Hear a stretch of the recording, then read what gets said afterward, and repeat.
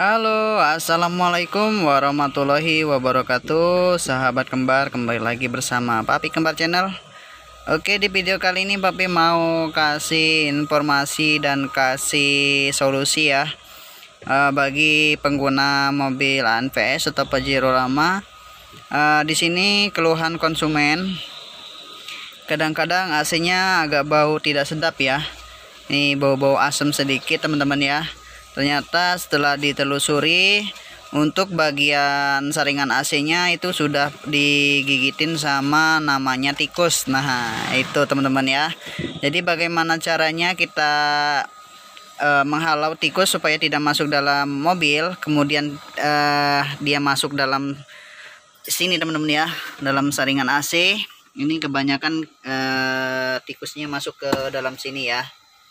Ini untuk bagian bagian filter AC nya sudah diganti ya sama yang punya mobil. Ini sudah dikasih pewangi juga. Jadi uh, kita menyelesaikan masalahnya seperti apa ikuti terus channelnya Papi Kembar jangan lupa like subscribe dan share video dari Papi Kembar channel. Oke teman-teman. Kita lanjut untuk cara memperbaikinya Oke teman-teman untuk langkah per, uh, apa penyelesaiannya kita buka untuk bagian klip-klip ini ya. Ini kita buka kita buka semua. Setelah itu kita buka untuk bagian uh, kipas.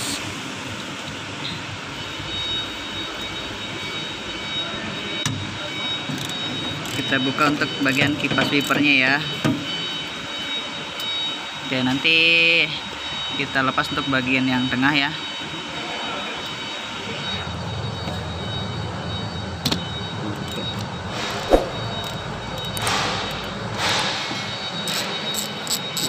Oke, kita lepas untuk bagian wipernya ya, teman-teman ya. Oke.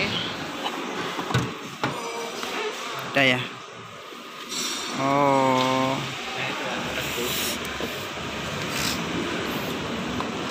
Nih ya teman-teman ya. Jadi nanti kita buat untuk bagian penutup atas ini ya. Ini biasanya lewat sini untuk bekas-bekasnya nih ya. Ini bekas kaki-kakinya. Tuh lewat sana dia. Untuk bagian yang paling utama masuk ke filter AC ini lewat bagian sebelah kiri ya. Nah jadi nanti kita buatkan untuk penutup pada bagian atas ini ya teman-teman ya. Karena ini tidak ada pelindung. Ada pelindung di yang di bagian dalam itu di bagian filter. Uh, sebenarnya ada pelindung tapi kalau hewan ya gimana caranya dia biar bisa masuk ya masuk ya. Jadi nanti kita buatkan tutupnya untuk bagian atas ini ya teman-teman. Oke lanjut. Mantap bosku. Oke sahabat uh, kita gunakan bekas jaring ini ya untuk bagian filter AC ini untuk mobil uh, utamanya pada mobil-mobil Fuso ya yang seperti ini ya. Jadi nanti kita potong dulu. Uh, kita potong bagian ini ya. Potong ini. Nanti bikin ini ya bikin kotak kita potong dulu. Setelah kita potong baru kita modif ya kita lipat dua ya supaya kuat. Jadi nanti supaya tikusnya atau curutnya tidak masuk lagi ke dalam mobil oke kita potong dulu untuk bagian ini.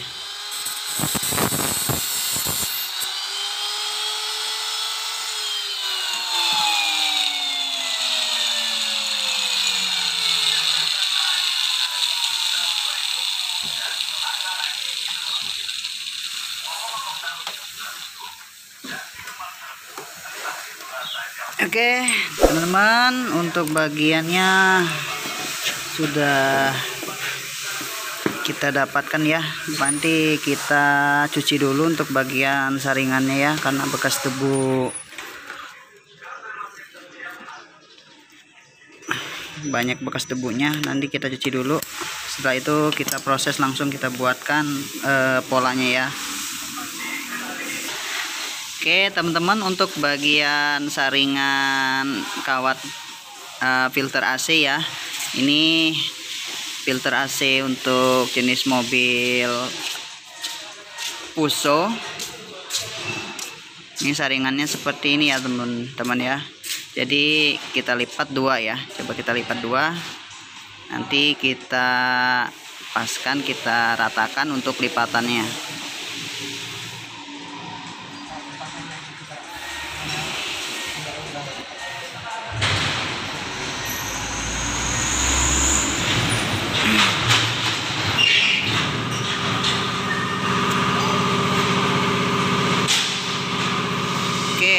bagiannya seperti ini ya teman-teman ya. Jadi e, menurut papi ini harus dipotong dua lagi ya karena terlalu tebal ya. Jadi kita gunakan untuk satu lapisan saja. Jadi kita potong untuk bagian e, kita bagi dua ya. Oke teman-teman untuk bagiannya kita sudah e, bagi dua ya. Untuk bagiannya seperti ini saja. Ini sudah lumayan tebal ya jadi nanti kita ukur untuk lebarnya berapa sentimeter. Ini papi sudah ukur menggunakan tali ya. Jadi kita uh, kita modif dulu kemudian nanti kita paskan di bagian uh, lubang udara pada mobilnya. Oke lanjut. Oke sahabat untuk bagiannya papi mal dulu ya kurang lebih seperti ini. Nanti coba kita masukkan ke dalam bagian itu ya rumahan pada ruang udara pada mobilnya. Kemudian untuk bagian sebelah sini papi potong ya. Nah ini di, eh, papi potong sebelah, sebelah sini juga papi potong. Kemudian kita pasang untuk di bagian mobilnya ya. Jadi nanti untuk mengikatnya kita cari cara lain kemungkinan besar nanti papi tempel sealer aja biar nanti dia tidak bergerak ke mana-mana. Oke lanjut kita pasang untuk di bagian mobilnya ya teman-teman ya. Oke sahabat kita lanjut pasang ya. Ini kita masukkan ke dalam ya. Nah seperti ini. Nah jadi ini kita tekuk ke bawah. Nah ini kita tekuk ke bawah ya jadi kalau yang udah papi potong ini maksudnya nanti akan papi lipat seperti ini ya. Nah ini papi lipat. Hmm, jadi agak susah nih teman-teman ya. Ini papi lipat ke dalam sini ya. Nah seperti itu ya. Ini kita lipat juga. Jadi untuk uh, pemasangan ininya sudah selesai ya teman-teman ya. Nah untuk modelnya seperti ini ya. Jadi untuk bagian tikus atau curutnya tidak bisa masuk lagi. Setelah ini kita rapatkan untuk bagian lock ininya. Untuk mengancingnya kita gunakan uh, tang ya. Tang kalau nggak tang kalau nggak Oke kita rapatkan untuk bagian locknya supaya ngelok Oke lanjut teman-teman ya.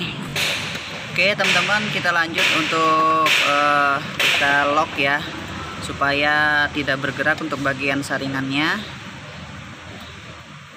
Jadi fungsinya ini sebagai penghalang supaya tikus atau curut tidak masuk. Oke untuk bagian bekasnya di sana sangat banyak ya teman-teman ya. Itu mudah-mudahan uh, dengan adanya ini dia tidak masuk lagi untuk ke bagian AC nya ini yang menyebabkan AC bau bau asam ya teman-teman ya. Oke. jadi misalnya kalau ini bagus locknya kita tidak usah menambahkan sealer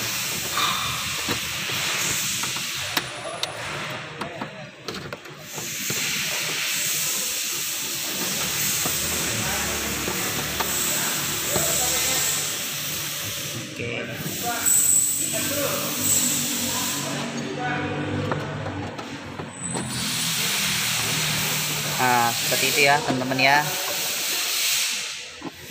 Jadi untuk bagiannya ini lumayan sudah bagus untuk saringannya.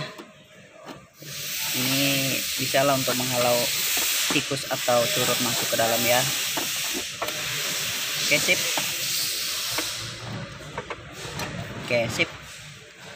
Oke kita lihat dari deket ya nah jadi untuk ini bagus ya teman-teman ya. Jadi nggak perlu ditambah apa-apa lagi ini sudah jadi ya. Jadi untuk bagiannya sudah aman. Nih nggak mungkin copot ya. Kemudian tikus juga nggak mungkin bisa gigit nih. Ini agak tebal juga untuk bagian saringannya. Oke teman-teman seperti itu ya. Setelah ini kita lanjut rapi-rapi lagi. Mudah-mudahan ini aman oke oke seperti itu tipsnya teman-teman ya. Semoga bermanfaat. Sampai ketemu lagi di video papi kembar berikutnya. Assalamualaikum warahmatullahi wabarakatuh. Mantap jos. Kita lanjut untuk rapi-rapi